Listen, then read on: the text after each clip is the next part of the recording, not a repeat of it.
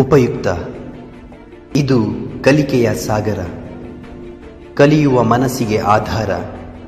ಕಲಿಯುತ್ತ ನಲಿಯುವ ತಾಯಿ ನುಡಿಯ ಎಂಬಂತೆ ಎಲ್ಲ ಕುಲಕೋಟಿ ಕನ್ನಡಿಗರ ಪಾದಾರವಿಂದಕ್ಕೆ ಶರಣಾಗಿ ಕನ್ನಡ ಭಾಷೆಯನ್ನು ಕಲಿಯುವ ವಿದ್ಯಾರ್ಥಿಗಳಿಗೆ ಹಾಗೂ ಶಿಕ್ಷಕರಿಗೆ ಉಪಯೋಗವಾಗಲೆಂದು ಸಿದ್ಧಪಡಿಸಿರುವ ಒಂದು ಮಾಧ್ಯಮವೇ ಈ ಉಪಯುಕ್ತ.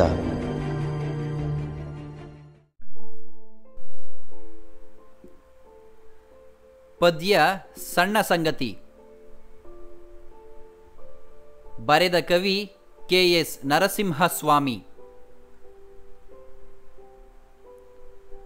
ಆರಿಸಿದ ಭಾಗ ಇರುವಂತಿಗೆ ಕವನ ಸಂಕಲನ.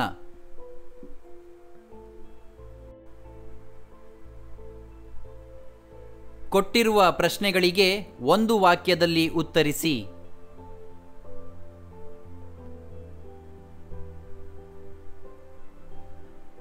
ಹುಣ್ಣಿಮೆಯ ಕಣ್ಣು ಎಲ್ಲಿ ತೆರೆದಿದೆ? ನಡುರಾತ್ರಿಯ ಕಪ್ಪು ಮೋಡಗಳ ನಡುವೆ ಹುಣ್ಣಿಮೆಯ ಕಣ್ಣು ತೆರೆದಿದೆ.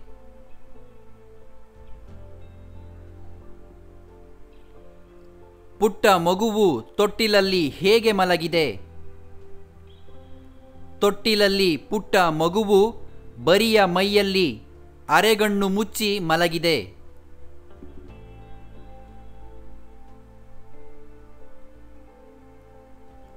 ಮೂಲೆಯಲ್ಲಿ ಇರುವುದೇನು? ಮೂಲೆಯಲ್ಲಿ ಒಂದು ಸಣ್ಣ ದೀಪವಿದೆ.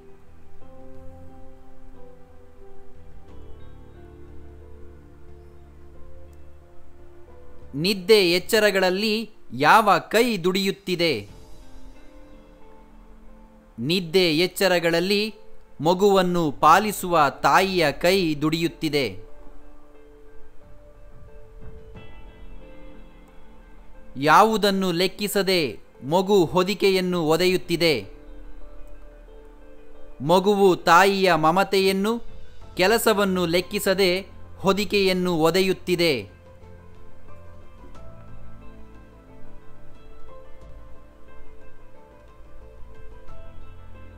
ಕೊಟ್ಟಿರುವ ಪ್ರಶ್ನೆಗಳಿಗೆ ಎರಡು ಮೂರು ವಾಕ್ಯಗಳಲ್ಲಿ ಉತ್ತರಿಸಿ.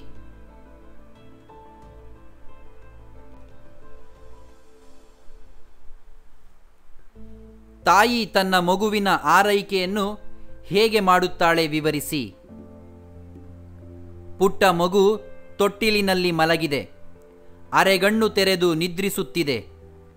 ಬಟ್ಟೆ ಧರಿಸದೆ ಬರಿಯ ಮೈಯಲ್ಲಿದೆ. ಪಕ್ಕದ ಮಂಚದಲ್ಲಿ ತಾಯಿ ಮಲಗಿದ್ದಾಳೆ. ಆಕೆಗೂ ನಿದ್ದೆ ಬಂದಿದೆ. ನಿದ್ದೆ ಗಣ್ಣಿನಲ್ಲಿಯೇ ಆಕೆ ಮಗುವಿನ ಹೊದಿಕೆಯನ್ನು ಸರಿಪಡಿಸುತ್ತಾಳೆ. ಮಗು ಅದನ್ನು ಒದೆದು ದೂರ ತಳ್ಳುತ್ತದೆ. ಬರಿಯ ಮೈಯಲ್ಲೇ ಮಲಗುತ್ತದೆ. ನಿದ್ದೆ ಎಚ್ಚರಗಳ ನಡುವೆಯೇ ತಾಯಿ ಮದು, ಮಗುವಿನ ಹೊದಿಕೆಯನ್ನು ತಿರುಗಿ ಹೊದಿಸುತ್ತಾಳೆ. ಮಗು ಅದನ್ನು ತಿರುಗಿ ಒದ್ದು ಕಿತ್ತೆಸೆಯುತ್ತದೆ ಹೊರಗೆ ಸೋನೆ ಮಳೆ. ರಾತ್ರಿಯ ವೇಳೆ ಮಗುವಿಗೆ ಚಳಿಯಾಯಿತೆಂಬ ಆತಂಕ ತಾಯಿಗೆ. ಅಲ್ಲಿ ಮಲಗಿರುವ ಬೇರೆ ಯಾರಿಗೂ ಈ ಯೋಚನೆ ಇಲ್ಲ. ಅವರೆಲ್ಲರೂ ಇದನ್ನು ನೋಡದೆ ಮಾತನಾಡದೆ ನಿದ್ರಿಸುತ್ತಿದ್ದಾರೆ. ನಿದ್ದೆಯ ನಡುವೆಯೂ ತಾಯಿ ಮಗುವಿನ ಆರೈಕೆಯನ್ನು ಮುಂದುವರೆಸುತ್ತಾಳೆ.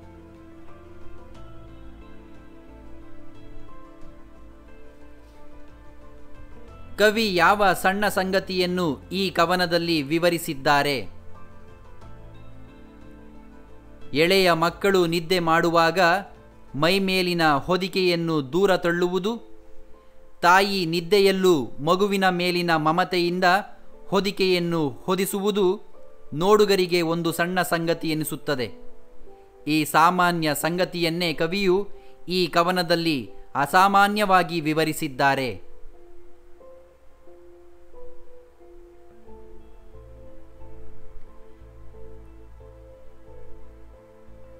ಸಣ್ಣ ಸಂಗತಿ ಕವನದಲ್ಲಿ ಕವಿ ನೀಡಿರುವ ಪ್ರಾಕೃತಿಕ ಘಟನೆಗಳನ್ನು ತಿಳಿಸಿ. ಅರ್ಧರಾತ್ರಿಯ ಸಮಯ. ಆಕಾಶದಲ್ಲಿ ಕರಿಯ ಮೋಡಗಳು ತುಂಬಿವೆ. ಅವುಗಳ ಮಧ್ಯದಲ್ಲಿಯೇ ಹುಣ್ಣಿಮೆಯ ಚಂದ್ರನ ಬಿಂಬ ಕಾಣುತ್ತಿದೆ. ನಕ್ಷತ್ರಗಳೂ ಆಗಸದಲ್ಲಿ ಒಡಮೂಡಿವೆ. ತುಂತುರು ಮಳೆ ಒಂದೇ ಸಮನೆ ಸುರಿಯುತ್ತಿದೆ. ಮಳೆ ಬೀಳುವ ಶ್ರುತಿಯೇ ಹಿಮ್ಮೇಳದೊಂದಿಗೆ ಗಾಳಿಯು ಹಾಡುತ್ತಿರುವಂತಿದೆ ಎಂದು ಕವಿ ಪ್ರಾಕೃತಿಕ ಘಟನೆಗಳನ್ನು ಇಲ್ಲಿ ವರ್ಣಿಸಿದ್ದಾರೆ.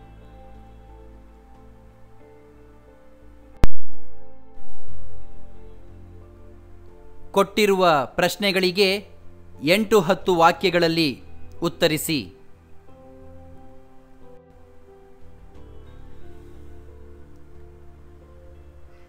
ಕವಿ ಯಾವ ಸಣ್ಣ ಸಂಗತಿಯೊಂದನ್ನು ಪ್ರಕೃತಿಯ ಘಟನೆಗಳೊಂದಿಗೆ ಹೋಲಿಸಿ ಮಾಡಿದ್ದಾರೆಂಬುದನ್ನು ನಿಮ್ಮ ಮಾತುಗಳಲ್ಲಿ ಬರೆಯಿರಿ. ಎಳೆಯ ಮಕ್ಕಳು ತೊಟ್ಟಿಲಿನಲ್ಲಿ ಮಲಗಿ ನಿದ್ರಿಸುವಾಗ ಮೈಮೇಲಿನ ಹೊದಿಕೆಯನ್ನು ಕಾಲಿನಿಂದ ಒದ್ದು ದೂರ ತಳ್ಳುತ್ತಾರೆ. ಬಟ್ಟೆ ತೊಡದಿದ್ದರೂ ಹಾಗೆಯೇ ಮಲಗುತ್ತಾರೆ. ಅವರು ಹಾಗೆ ಮಲಗದಂತೆ ತಾಯಂದಿರು ಹೊದಿಕೆಯನ್ನು ಹೊದೆಸುತ್ತಾರೆ. ಮಕ್ಕಳು ತಳ್ಳಿ ದೂರ ಮಾಡಿದಂತೆಲ್ಲ ಇವರು ಹೊದೆಸುತ್ತಲೇ ಇರುತ್ತಾರೆ. ಇದು ತಾಯಿ ಮಕ್ಕಳ ನಡುವೆ ನಡೆಯುವ ಸಾಮಾನ್ಯ ಸಂಗತಿ. ಈ ಸಣ್ಣ ಸಂಗತಿಯೊಡನೆ ಪ್ರಕೃತಿಯ ಘಟನೆಗಳನ್ನು ಕವಿ ಹೋಲಿಸಿದ್ದಾರೆ. ನಡುರಾತ್ರಿಯ ಸಮಯ, ಆಕಾಶದಲ್ಲಿ ಕಪ್ಪು ಮೋಡಗಳು ತುಂಬಿವೆ. ಆ ಮೋಡಗಳ ನಡುವೆಯೇ ಹುಣ್ಣಿಮೆಯ ಚಂದ್ರ ಕಾಣಿಸುತ್ತಾನೆ. ನಕ್ಷತ್ರಗಳೂ ತೋರುತ್ತಿವೆ. ಸೋನೆ ಮಳೆ ನಿರಂತರವಾಗಿ ಸುರಿಯುತ್ತಿದೆ. ಮಳೆಯ ಸುರಿಯುವಿಕೆ ಶ್ರುತಿಯಂತಿದೆ. ಆ ಶ್ರುತಿಗೆ ಅನುಗುಣವಾಗಿ ಹಾಡುತ್ತಿರುವ ಹಾಗೆ ಗಾಳಿಯೂ ಬೀಸುತ್ತಿದೆ. ಹೊರಗೆ ಪ್ರಕೃತಿಯಲ್ಲಿ ಈ ಕ್ರಿಯೆ ಕ್ರಿಯೆ ನಡೆಯುತ್ತಿದ್ದರೆ ಮನೆಯೊಳಗೆ ಎಳೆಯ ಮಗು ತೊಟ್ಟಿಲಲ್ಲಿ ಬರಿಯ ಮೈಯಲ್ಲಿ ಮಲಗಿ ಅರೆಗಣ್ಣು ತೆರೆದು ನಿದ್ರಿಸುತ್ತಿದೆ. ಪಕ್ಕದಲ್ಲಿ ಮಲಗಿರುವ ತಾಯಿ ಅರೆ ಎಚ್ಚರದಲ್ಲಿಯೇ ಮಗುವಿಗೆ ಹೊದಿಕೆಯನ್ನು ಹೊದಿಸುತ್ತಾಳೆ. ಮಗುವು ಅದನ್ನು ಕಾಲಿನಿಂದ ತಳ್ಳಿ ದೂರ ಮಾಡುತ್ತದೆ. ಹೊದಿಕೆಯನ್ನು ಹೊದೆಸುವುದು, ಅದನ್ನು ಮಗು ದೂರ ಸರಿಸುವುದು ಮತ್ತೆ ಮತ್ತೆ ನಡೆಯುತ್ತಿರುತ್ತದೆ. ಈ ವಿಚಾರವನ್ನು ತಾಯಿಯಲ್ಲದೆ ಅಲ್ಲಿ ಮಲಗಿರುವ ಬೇರೆ ಯಾರೂ ಗಮನಿಸುವುದಿಲ್ಲ. ಇಳೆಯ ಲಾಲನೆ ಪಾಲನೆಗಾಗಿ ಪ್ರಕೃತಿಯಲ್ಲಿ ಮೋಡ, ಮಳೆ, ಗಾಳಿ, ಚಂದ್ರ ನಕ್ಷತ್ರಗಳಿರುವ ಹಾಗೆ ಮಗುವಿನ ಲಾಲನೆ ಪೋಷಣೆಗಾಗಿ ತಾಯಿ ಎಂಬ ಪೊರೆವ ಕೈ ಶ್ರಮಿಸುತ್ತಿದೆ ಎಂದು ಕವಿ ಈ ಕವಿತೆಯಲ್ಲಿ ಹೋಲಿಸಿ ವರ್ಣಿಸಿದ್ದಾರೆ.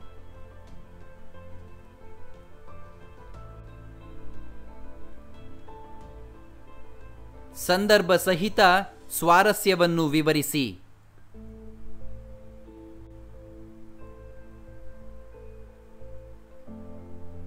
ತಾರೆ ಬಂದಿವೆ ಬಾನ ಬೀದಿಗೆ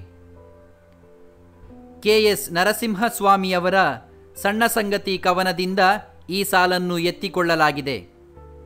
ನಡುರಾತ್ರಿಯಲ್ಲಿ ಮೋಡದ ನಡುವೆಯೂ ನಕ್ಷತ್ರಗಳು ಕಾಣುತ್ತಿದ್ದವು ಎಂದು ಕವಿ ಹೇಳಿದ್ದಾರೆ.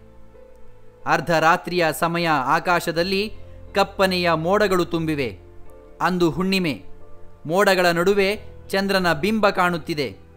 ಆಕಾಶದಲ್ಲಿ ನಕ್ಷತ್ರಗಳೂ ತೋರುವ ತೊಡಗಿವೆ ಎಂದಿದ್ದಾರೆ.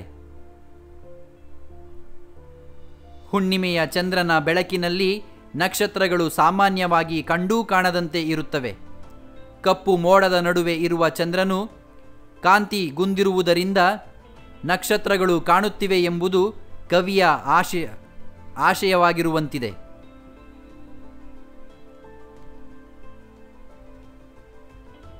ತಾಯಿ ಕೈ ನೀಡಿ ಮತ್ತೆ ಹೊದಿಕೆಯನ್ನು ಸರಿಪಡಿಸುವಳು. ಕೆ ಎಸ್ ನರಸಿಂಹಸ್ವಾಮಿಯವರ ಸಣ್ಣ ಸಂಗತಿ ಕವನದಲ್ಲಿರುವ ಸಾಲು ಇದು. ನಿದ್ದೆ ಗಣ್ಣಿನಲ್ಲಿಯೂ ತಾಯಿಯು ಮಗುವಿನ ಬಗೆಗೆ ವಹಿಸುವ ಎಚ್ಚರವನ್ನಿಲ್ಲಿ ಹೇಳಲಾಗಿದೆ. ತೊಟ್ಟಿಲಿನಲ್ಲಿ ಎಳೆಯ ಮಗು ಬರಿಮೈಯಲ್ಲಿ ಮಲಗಿ ನಿದ್ರಿಸುತ್ತಿದೆ. ಅದರ ಮೈ ಮೇಲಿರುವ ಹೊದಿಕೆ ಜಾರಿದೆ. ಹೊರಗೆ ತುಂತುರು ಮಳೆ ಬೀಳುತ್ತಿದೆ. ಗಾಳಿ ಬೀಸುತ್ತಿದೆ. ಪಕ್ಕದಲ್ಲಿ ಮಂಚದಲ್ಲಿ ಮಲಗಿ ನಿದ್ರಿಸುತ್ತಿರುವ ತಾಯಿ ನಿದ್ದೆಯ ನಡುವೆ ಕೈಚಾಚಿ ಮಗುವಿನ ಹೊದಿಕೆಯನ್ನು ಸರಿಪಡಿಸುತ್ತಾಳೆ. ಮಗು ಮತ್ತೆ ಮತ್ತೆ ಅದನ್ನು ಒದ್ದು ದೂರ ಮಾಡುತ್ತಿದ್ದರೂ ತಾಯಿಯು ತನ್ನ ಕೆಲಸವನ್ನು ನಿಲ್ಲಿಸುವುದಿಲ್ಲ. ಮಕ್ಕಳ ವಿಚಾರದಲ್ಲಿ ತಾಯಂದಿರು ವಹಿಸುವ ಎಚ್ಚರವನ್ನು ಇಲ್ಲಿ ನಾವು ಕಾಣಬಹುದಾಗಿದೆ. ಹಾಗೂ ಕವಿಯು ಇಲ್ಲಿ ತಿಳಿಸಲಾಗಿದೆ.